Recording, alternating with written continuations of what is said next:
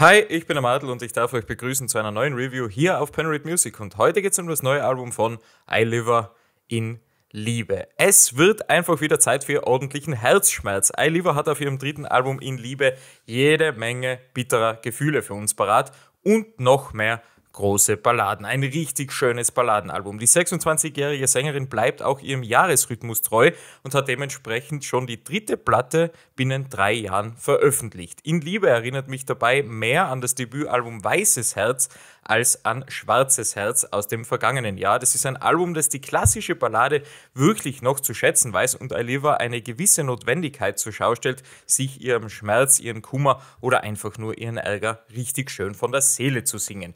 Sie bleibt also ihrer Erfolgsformel treu. Thematisch als auch musikalisch gibt es auf In Liebe nicht wirklich viel Neues und doch fühlt sich dieses Album deutlich runder und auch durchdachter an als der Vorgänger oder als die Vorgänger. Im Gegensatz zu Schwarzes Herz gibt es auch fast keine Ausflüge mehr in die Versuchswerkstätten des internationalen Pop also das letzte Mal waren schon ein paar so Abklatsche dabei. Sie will hier einfach das machen, was sie am besten kann und was ihr auch am besten steht, nämlich mit ordentlicher Kraft, mit ihrer Stimme herzzerreißend zu singen. Und das kommt extrem gut an. Aliva ist mit Shirin David vermutlich der größte deutsche Popstar dieser Tage. Sie kann immer noch regelmäßig Streaming-Rekorde brechen und auch die Charts dominieren. Auch dieses Album hat schon diverse Tagesbestmarken auf Spotify erreicht und vor allem die Vorab-Single Wunder zusammen mit Apache 207 hat sich zu einem der größten Sommerhits dieses Jahres auch gemausert. Sieben Wochen auf Platz 1 in den deutschen Charts mit 3,3 Millionen Streams am ersten Tag auf Spotify auch gleich noch einen neuen Rekord aufgestellt.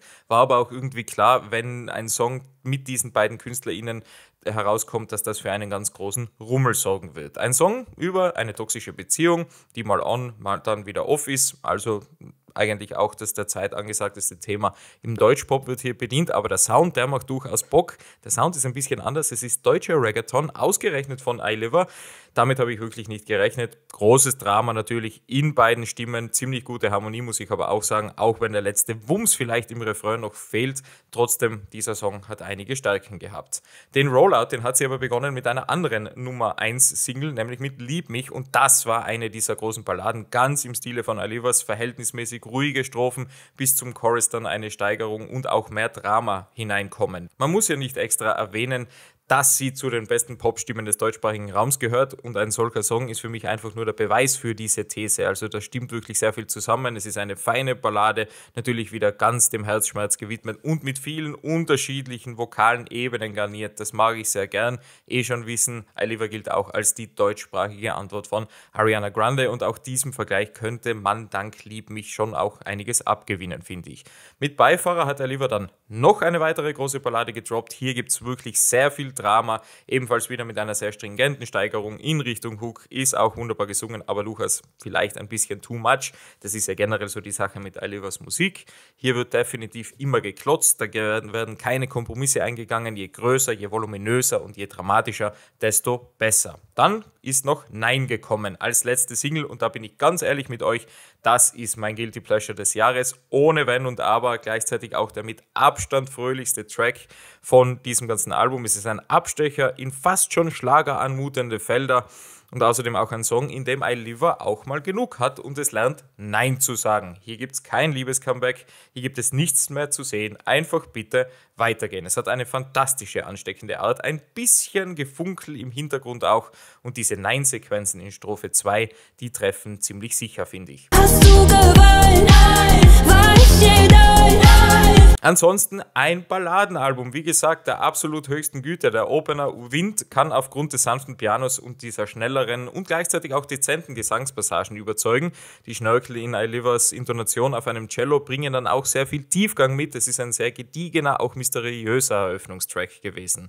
Traum, wenig später, gilt als einer der zentralen Tracks von In Liebe. Auch hier wieder ein Piano, das den Rahmen bildet. Oliver fragt sich hier, wie das jetzt alles weitergehen soll, nachdem die Beziehung gescheitert ist und wünscht sich, dass sie von diesem Traum einfach nur aufwachen möge.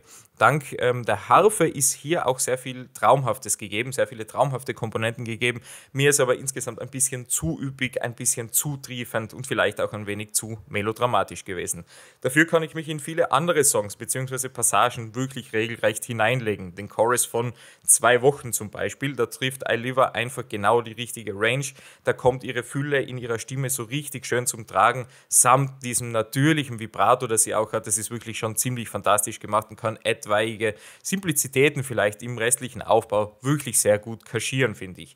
Nie Deins und Ersticken sind abermals ganz große Balladen, wobei jetzt äh, letztere I Liver in ihre Kopfstimme bringt, sehr hauchig, mit ein bisschen Echo vorgetragen. Dann gibt es noch den wildesten Banger, das ist sicherlich Mörder.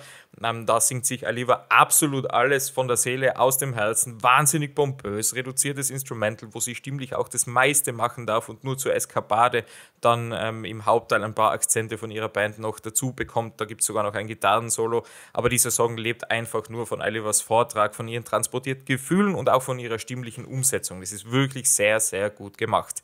Dann gibt es noch ein paar Nummern, die in Richtung verspielteren RB schielen. Ben Jerry's beispielsweise, englische Hook, ganz was Neues, die von einem gelungenen Pre-Chorus dann auch eingeleitet wird.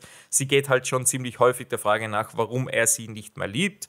Dann gibt es den Song Hältst du mit? Der fällt dank des Beats und dieses Zwiegesprächs, diesem Frage-Antwort-Spiel von Eliva auf, das sie ziemlich smart und auch gelungen umsetzt, finde ich. Da gibt es diese hohen und falsitierten Fragestellungen und dann diese relativ, ja, sagen wir mal, salopp und schnell gesprochenen Bruststimmen-Antworten. Auch hier wieder mehr Selbstbestimmung inhaltlich, finde ich, steht ja auch sehr gut, ist sicherlich so ein kleiner Hidden Gem auf dieser ganzen Platte. Wie auch der Song Lilian, der orientalische Stimmungen verbreitet, auch das ist was, was Eliva natürlich immer durchgezogen hat, für was man sie auch kennt, gleichzeitig auch fast schon ein bisschen ein äh, Peter Fox Stadtaffen-Beat, den wir hier bekommen, hat mich daran erinnert, das ist der Song, der vermutlich auch ohne offizielle Auskopplung die Charts, zumindest aber TikTok ähm, erobern sollte, vielleicht auch dominieren könnte. Das ist so eine Oliver Masterclass, die ihre beiden Welten, also diese deutsche und diese türkische, einfach ganz herrlich verknüpfen kann.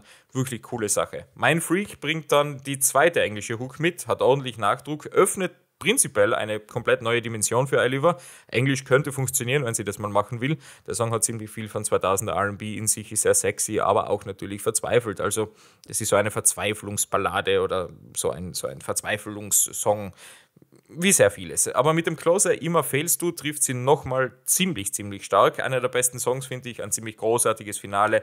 Ähm, eine der besten und auch schönsten Balladen, die man auf In Liebe überhaupt hören kann. Sicherlich ein bisschen kitschig, ja, aber was soll's, wer so singt, darf das machen. Der darf bei mir generell, generell relativ viel tun. Was ich außerdem sehr lobenswert finde, das muss ich auch noch erwähnen, Iliver, dieser Popstar, der durch TikTok sehr groß geworden ist, ähm, interessiert sich überhaupt nicht für diesen kurze Songs oder kurze Alben-Trend. Das ist, das ist ein Album mit 15 Songs, es dauert eine Dreiviertelstunde und das ist richtig cool. Also wer Herzschmerz hat, wird sich hier extrem gut aufgehoben fühlen. Wer auf stimmlichen Wahnsinn steht, ebenso fühlt sich trotz dieser Schwere und der großen Dramatik auch immer wieder sehr leicht an. Mag ich sehr gern, ist ein Balladenalbum mit ein paar kleineren, besser durchdachten Abwechslungen als es eben zuletzt auf Schwarzes Herz der Fall war, finde ich insgesamt einfach ziemlich gut. Deswegen kann ich dem Album auch 7,8 von 10 Punkte geben.